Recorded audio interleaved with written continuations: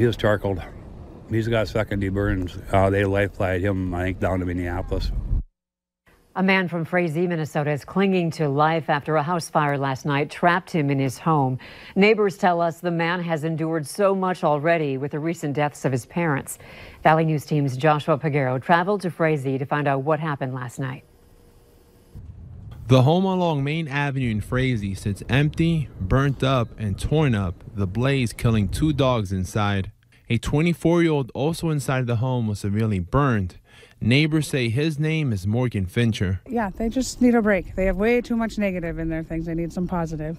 They lost they lost a couple of dogs, um, the Rottweiler that they walked every day, and then the little Chihuahua. Brian Felt has known the family for five years, and his heart aches for them. This family's been through a lot in the last five years. Felt was home Monday night when he saw patrol cars whizzing by his window. I seen the smoke coming out of the windows and and the flames coming out of the top of the roof. And the cop was already in there getting trying to get the Morgan out. Felt says the street was flooded with emergency responders working to put out the flames. When Fincher was brought out the home, Felt says he placed a blanket on him. Fincher was flown by helicopter to a Twin Cities hospital. He was charcoaled.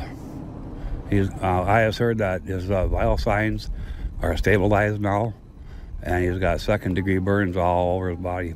As you can see behind me, yellow tape still surrounds the home and everything inside is destroyed. The landlord tells me he feels bad for the victims, who he knew very well. Their mom passed away and then their dad just recently passed away.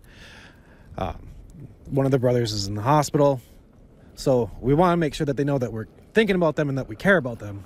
So it's just a horrible thing that happened. Matthew Abraham, whose family has owned the home since the 60s, says he has that family in his thoughts and is praying for them. In Frazee, Joshua Peguero, Valley News Live. The cause of the fire is being investigated by the Minnesota Fire Marshal. It is